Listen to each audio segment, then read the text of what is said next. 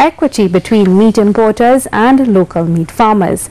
That is the request being made by the president of the Trinidad Unified Farmers Association, Shiraz Khan. He says at this time importers are being granted licenses to bring in meat, but this is disadvantageous to local farmers who must compete with the foreign product. Marie-Therese Bernard has more. President of the Trinidad Unified Farmers Association, Shiraz Khan, is appealing to the Ministry of Agriculture and the Ministry of Trade to use discretion as they grant licenses for the importation of meat.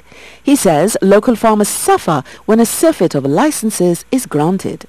The last three years, our livestock farmers have suffered a great and tremendous hardship of getting their meat sold on the local market. And hence the reason why we are a number clamoring, most of our sheep and goat farmers, our beef farmers, and also the pig farmers. So this is about just the appropriate time where issues of permits and licenses are given out to people for the importation.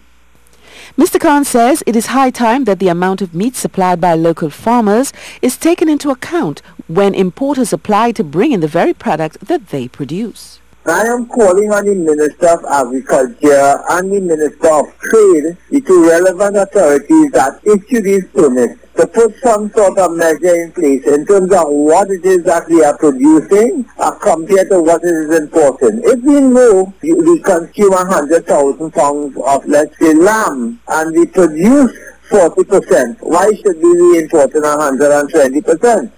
He says it is important that the quality of meat should also be taken into account.